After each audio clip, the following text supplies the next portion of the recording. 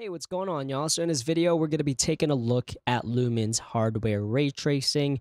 Now, a couple weeks back when UE5 came out, I said, wow, the Lumen reflection looks a lot better in hardware ray tracing. And basically, that's what I'm going to show y'all today. Uh, pretty much just uh, show y'all the difference before the hardware ray tracing in Lumen reflections and then after. Just a heads up though, you will need a hardware compatible device to get this working. So just kind of heads up up there. So you might not be able to turn this on with your in your machine or whatever. But yeah, we're in here in the arid landscape. If you haven't seen my previous video, go ahead and check it out.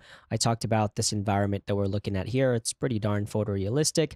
Uh, I have a car here, a really reflective car that I got also in the marketplace just to kind of help demonstrate this here.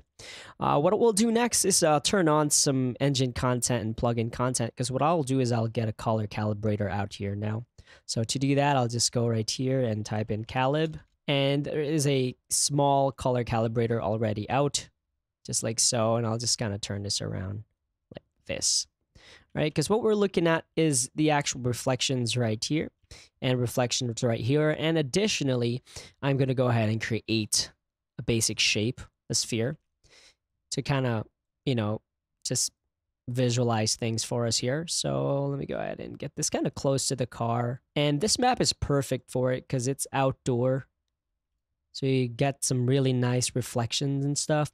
And uh, so you can see right here, we have a chrome ball already in there. So I'll go to details. I'll just change the materials to a chrome ball just like so. And that's going to give us even some more reflection, right? So that's looking pretty good. And what we'll do is we'll kind of just uh, go one by one to really see the difference. All right, so what you're looking at right now, this the default setting as far as lumen reflection goes. So if I go to the post process, let's go back to our lumen right here, GI and reflections. I'm going to turn it on.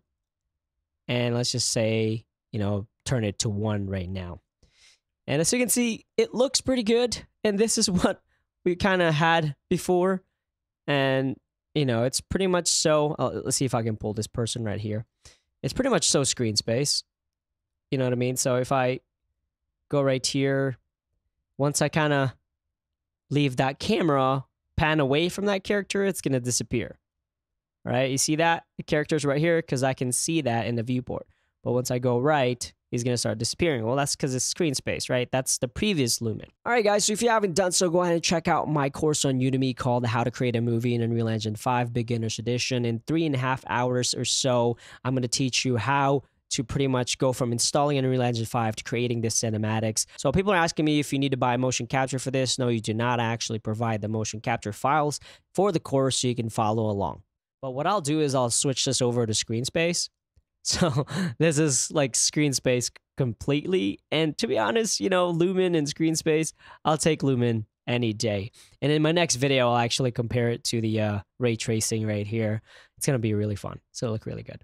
All right, so we have this is the default setting software. And to change the hardware, just go to project settings now and make sure that that's good right there. And then I'll type in hardware. So the setting we need is actually right here. All right, this is the new thing right here uh, supported by video card, RHI operating system. Then we will fall back to software tracing other wires. Okay, so I'm gonna click this on, and this as soon as I do this, you see this reflection on this chrome ball now. Even though this character is not in camera, with hardware ray tracing, it's no longer a screen space. And that's one of the things that I noticed right away when I was doing Unreal Engine 5 demos is like, holy smokes, hardware ray tracing is not screen space. So this improves the quality dramatically. I mean, you can tell that right here. To me, it seems like the reflections are a lot more physically accurate than the software ray tracing. Again, that character is going to show up, but once I get him out of the screen there, he's going to disappear. Now, this is important because when you're doing cinematics, I mean, for video games, it's fine because, you know, the point of view is always changing.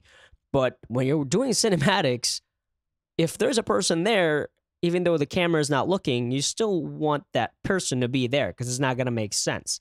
You know, say you have two talents talking, and I need to be able to see that character right there, even though he's not or she's not on the scene. So let's take a look at it right here again, and I'll just kind of flip this on and off. Here's hardware. And here's software. And I know a lot of people, and you can even see the reflection of that character right there. And I know people talk about, you know, it's a whole hardware ray tracing stuff. This is gimmick. Um, but that's honestly, I don't think it is because I, I see the results of hardware, you know, acceleration when it comes to graphics card. And this is a this is a big one here.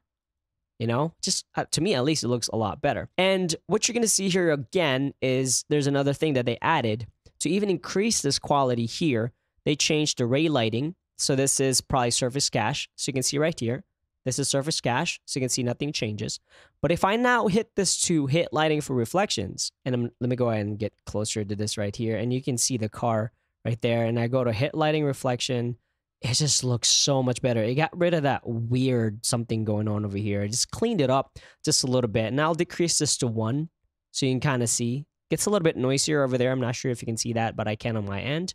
And if I go to surface cache right here, you're going to see that.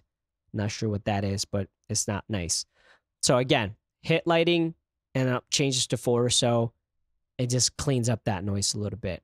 Okay. And then looking at this example right here, I'll turn this to surface cache again.